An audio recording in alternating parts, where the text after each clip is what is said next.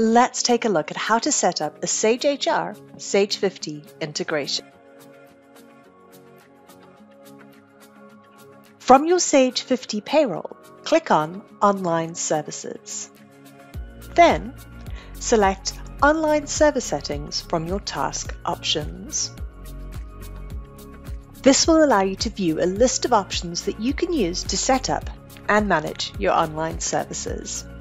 Start by signing into your online services using your Sage account details. Here you can log in with your existing Sage account details or click Create Account to create one. At this stage, it's best to use a generic email, so admin at sage.com, for example. If you are creating an account, you will need to verify your email address using a verification code. This will be emailed to the address you used when creating your account.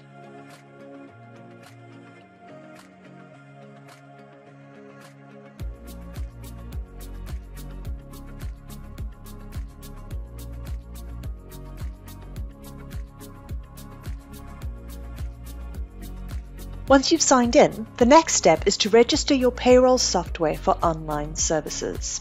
The system will then register Sage HR for use with online services. Once the registration is successful, you can complete the remaining tasks.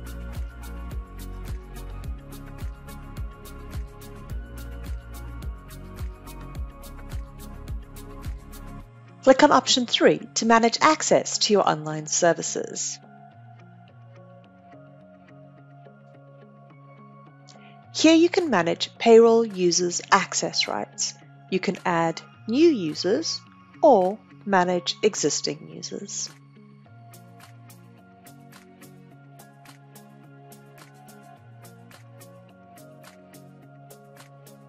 The next step is to manage your employees.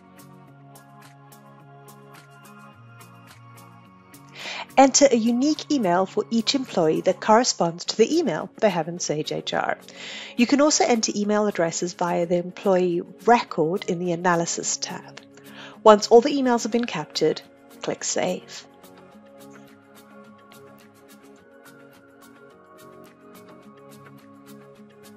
You can then choose to upload payslips for previous pay periods.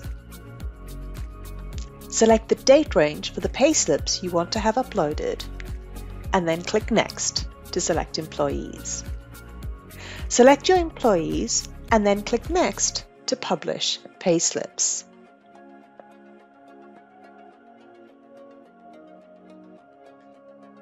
When your payslips have been published, you will receive a message to let you know that they have been successfully published.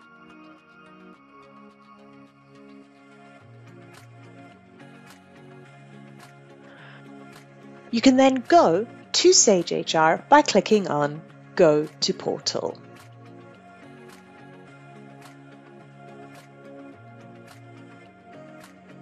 From here, log in to your Sage HR account.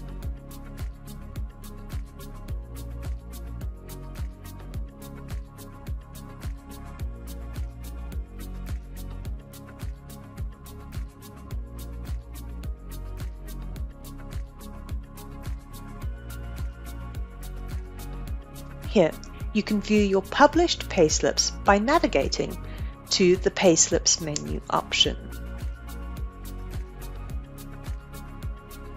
Here you will see a summary of the payslips that have been published. You can view your pay information by clicking into the payslip.